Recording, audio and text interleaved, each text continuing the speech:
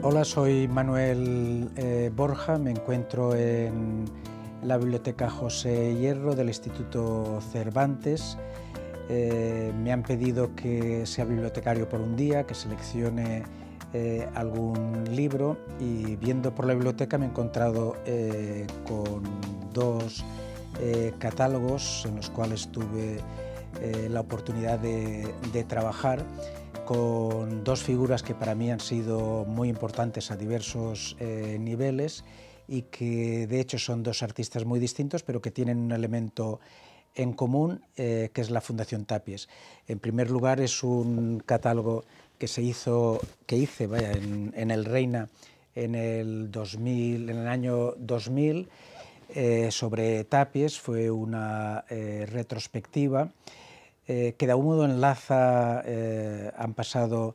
eh, más de 20 años desde que se hizo este catálogo, pero de algún modo enlaza con mi actividad presente, porque estoy preparando una exposición retrospectiva de Tapies que celebra el centenario de, de, su nacimiento, y en la cual vamos a plantear un Tapies una,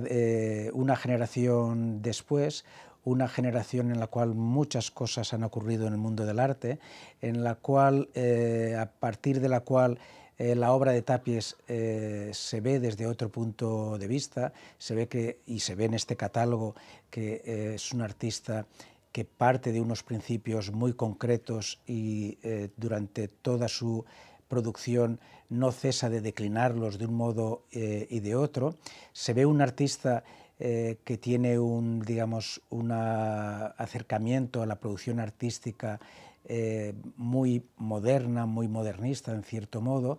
eh, por utilizar el anglicismo, ya que estoy en una biblioteca,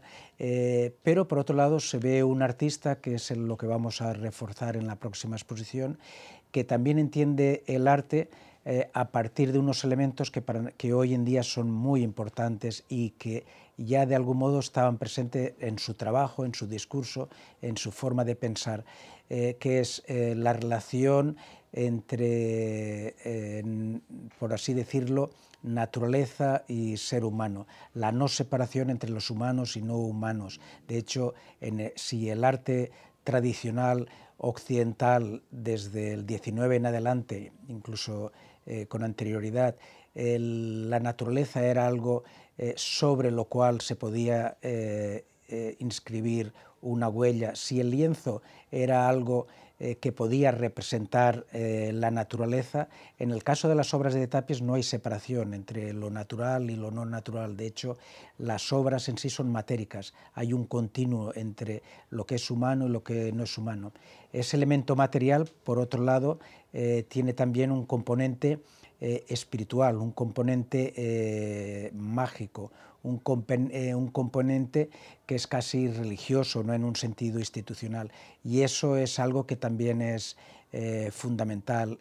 hoy en día. Y luego diría que hay algo más. Eh, muy a menudo, y eso se hizo en esta exposición y es algo que cambiaremos en la exposición que estamos preparando, eh, se veían las obras de Tapies como autónomas, como aisladas. Este elemento de la autonomía de Tapies creo que era una interpretación eh, de la época, una interpretación que porque él vivía en ese contexto tal vez la compartía, pero que hoy en día eh, ha dejado de tener sentido. Si, si vemos cómo trabajaba, vemos que había un continuo entre una obra y la otra. Vemos incluso que Tapies trabajaba con los límites de la obra, con aquello que lo relaciona con, con otras obras. Y ese elemento de campo expandido eh, de pintura expandida es algo que es importante en Tapies y curiosamente era importante en otro artista fundamental eh, del siglo XX que es Marcel eh, Brotars. Este es el catálogo de una exposición que hicimos en la Tapies justamente cuando Tapies estaba, estaba vivo, una exposición que a él le gustaba, le, le acabó gustando mucho, tanto que en un libro que hizo posteriormente que se llamaba 5.000 años de amistad, que eran las obras que él tenía en su colección o artistas que le habían influido o le gustaban, e incorporó la obra de, digamos, una reproducción de una obra de Brotars. En el caso de Brotars es importante porque tiene dos elementos que de algún modo se relacionan con el trabajo intelectual, el trabajo digamos, más allá de lo artístico que hizo Tapies a partir de, la fundación. Y es el entender que todo, toda obra siempre necesita una relación con los demás, el entender que toda obra también viene determinada por la institución en la cual está expuesta, por la forma, eh, digamos, por el contexto en el cual eh, se muestra. Eso era algo que Brotars, especialmente a partir de su Museo de las Águilas en el 72, desarrolla eh, plenamente. Y lo desarrolla en un campo determinado que es el cine, el cine de exposición, el cine que está a caballo entre la literatura, entre el objeto artístico, entre lo propiamente eh, cinematográfico, y es lo que expresa justamente en la portada eh, de este libro, que es una portada en la que se ve al propio eh, Brotars con una máscara de fantomas que nos, nos refleja, nos refiere al cine casi pre-Hollywood, al cine de principios de siglo, con un libro sobre la historia del cine en el cual pone figura uno como elemento esencial de lo que para él significaba el cine, y este libro recoge sobre todo el primer cine, el cine antes eh, de Hollywood, el cine que era todavía un elemento mágico, el cine que no era un espectáculo, el cine que hacía imaginar a la gente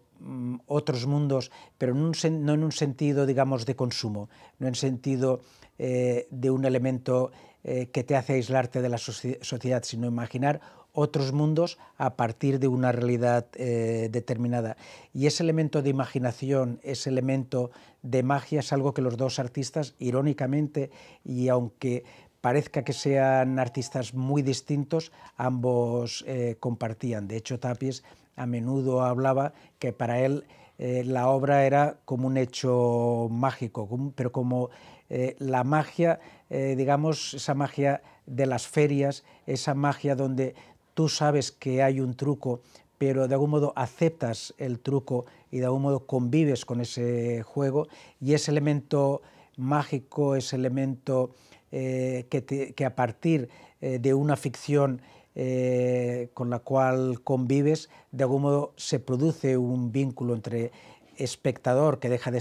ser espectador, entre artista y entre todos aquellos que comparten, eh, digamos, estas relaciones, un mundo especial eh, que es el mundo poético y que es el mundo que tal vez en una época dominada por el algoritmo, tiene más sentido que, nunca. Así que por eso he escogido estos dos eh, libros que creo que tienen un sentido muy especial en esta biblioteca, pero sobre todo en el momento en el cual estamos eh, viviendo y que para mí han sido muy importantes.